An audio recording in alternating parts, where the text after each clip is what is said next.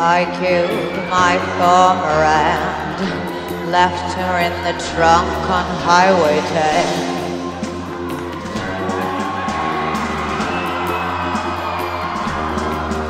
Put the knife under the hood. If you find it, send it straight to Hollywood.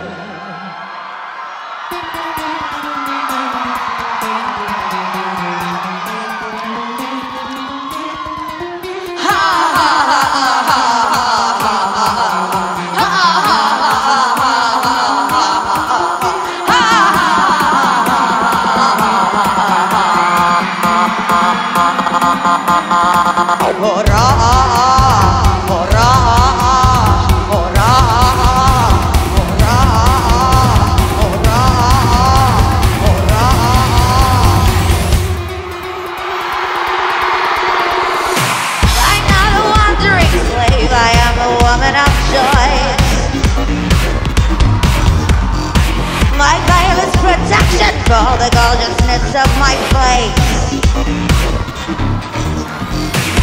are too busy.